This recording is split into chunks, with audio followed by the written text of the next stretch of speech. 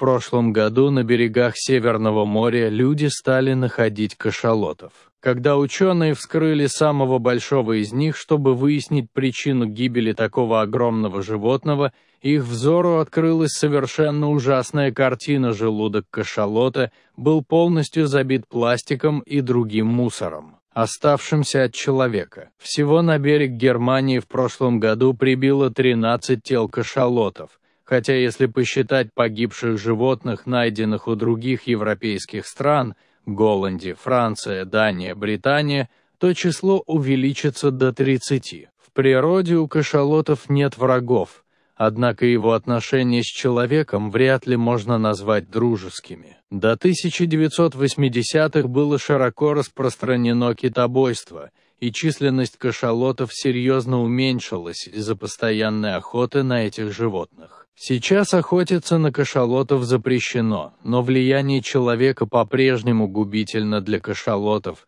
Загрязнение Мирового океана прямо сказывается на уменьшении численности этих величественных китов. Немецкие исследователи взяли на вскрытие четырех самых крупных кашалотов, найденных на берегу Северного моря, чтобы подробно изучить, что же привело к их гибели каждом из китов нашли просто неимоверное количество пластика, включая 13-метровую рыболовную сеть, части от автомобильного мотора, пластиковое ведро и даже автомобильные шины. Согласно Организации по сохранению численности китов и дельфинов, существует множество факторов, которые прямо или косвенно ведут к гибели морских млекопитающих. Это может быть шумовое загрязнение океанов, шум от кораблей, загрязнение воды как химическое, так и мусор, который сбрасывается в океан. Так, например, кит, который выбросился на берег Шотландии три года назад,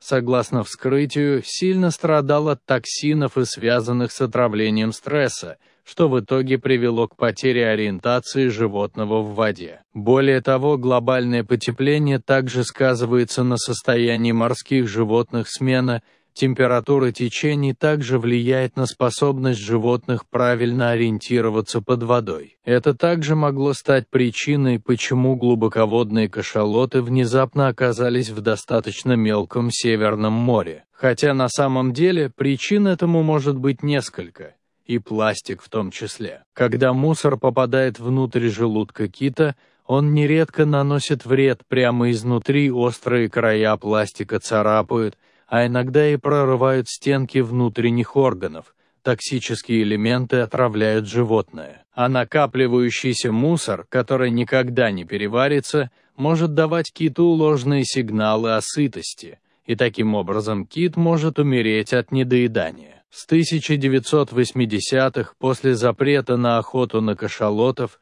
численность этих животных постепенно восстанавливается – однако они по-прежнему остаются в зоне риска из-за постоянного загрязнения человеком Мирового океана. Да и не только кашалоты. Увы, от мусора в воде страдают также и другие животные.